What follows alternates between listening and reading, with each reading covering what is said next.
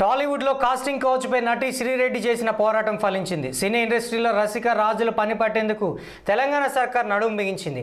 తెర మీద కనిపించాలంటే తెర వెనక విధించే షరతులకు చెక్కు పెట్టే పనిలో పడింది.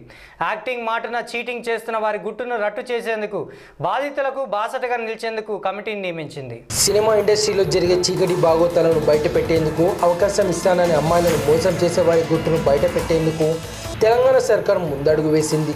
దీనిపై ఓ కమిటీ ఏర్పాటు చేసింది. ఛాన్సుల పేరిట ఛాన్స్ తీసుకుంటున్నారంటూ రోడ్డెక్కి అర్ధనగ్న ప్రదర్శకు దీన శ్రీరెడ్డికి మద్దతుగా అప్పట్లో పలు మహిళా సంఘాలు పిటిషన్ వేశాయి. దీనిపై స్పందించిన తెలంగాణ ప్రభుత్వం సినిమా టీవీ పరిశ్రమలో మహిళా ఆర్టిస్టుల మీద లైంగిక వేధింపులు అరికట్టేందుకు ప్రత్యేక ప్యానెల్కు అంగీకరించింది. ఇరవై ఐదు మందితో కమిటీను ఏర్పాటు చేస్తూ జీవో తొమ్మిది వందల ఎనభై నాలుగును జారీ చేసింది. ఈ కమిటీలో టాలీవుడ్కు చెందిన ప్రముఖులను సభ్యులుగా చేర్చింది ప్రభుత్వం. యాంకర్ ఝాన్సీ నటి సుప్రియ దర్శకురాలు నందిరెడ్డి ఇందులో సభ్యులుగా ఉంటారు. సీనియర్ దర్శక నిర్మాత తమ్మారెడ్డి భరద్వాజ్ మరో సీనియర్ దర్శకుడు సుధాకర్ రెడ్డిలను కూడా ఈ కమిటీలో చేర్చారు. కేవలం ఇండస్ట్రీకి సంబంధించిన వారే కాకుండా నల్సర్ యూనివర్సిటీకి ప్రొఫెసర్ వసంతి గాంధీ మెడికల్ కళాశాల వైద్యురాలు రమాదేవి సామాజిక కార్యకర్త విజయలక్ష్మి కూడా ఈ కమిటీ సభ్యులుగా ఉన్నారు. ఈ ప్యానెల్ మొత్తానికి Telangana state film development corporation చైర్మన్గా ఉన్న రామ్మోహన్ రావు చైర్మన్గా వ్యవహరించనున్నారు. ఇండస్ట్రీలో లైంగిక వేధింపులు అరికట్టడమే కమిటీ ముఖ్య ఉద్దేశం. ఇకపై ఎవరిపై వేధింపులు జరిగినా కమిటీకి ఫిర్యాదు చేయవచ్చు. అలాంటి ఘటనపై ఈ కమిటీ ప్రభుత్వానికి నివేదిక ఇస్తుంది. దీని ఆధారంగా ప్రభుత్వం చర్యలు తీసుకుంటుంది.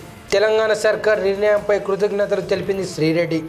ముఖ్యమంత్రి కేసీఆర్ జారీ చేసిన జీవో వల్ల ఏడాదిగా తాను అనుభవించిన బాధ నుంచి కాస్త ఊరట కలిగిందని చెప్పారు.